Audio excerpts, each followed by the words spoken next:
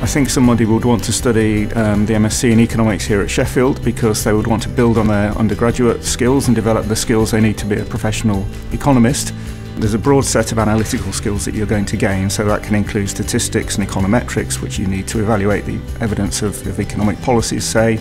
You will pick up mathematical skills that you need to model different economic theories. And more broadly, you'll get a broad range of, of, of skills that you need when you're considering a new problem or a new policy or a new change in the economy to see what are the essential features of that change and therefore what you need to focus on when you're evaluating it. As well as doing international quality research, we're also very involved in policy issues and policy questions. We advise government departments, so that would be a topic that students will be able to talk to staff about.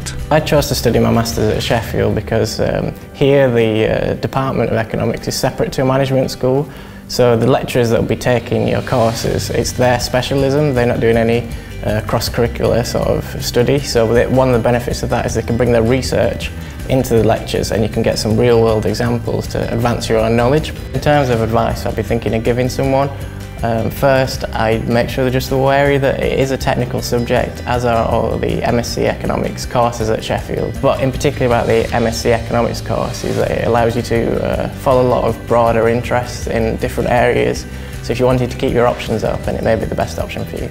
So one of the benefits of the dissertation here at Sheffield is that you can follow more niche interests that are really current.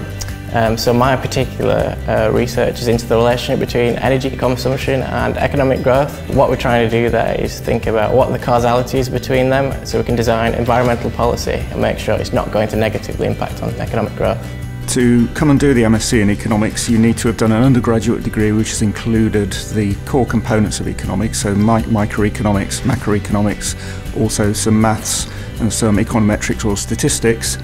Um, but fundamentally, we're looking for students who've got a passion for economics, who want to develop what they've done before, take it out into the real world and make a difference, and who want to go out and have a career as a professional economist.